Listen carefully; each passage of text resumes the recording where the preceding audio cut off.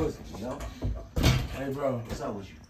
I'm gonna get straight to the chase, man. Mm-hmm. Really, I came out here to, to reach out to you to see if you gave any thought to that favor I asked for you. You know what, bro? I'm down for that.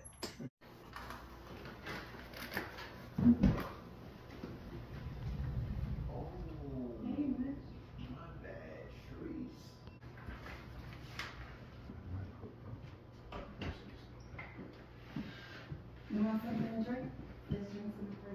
All right. Thank you. I didn't come here to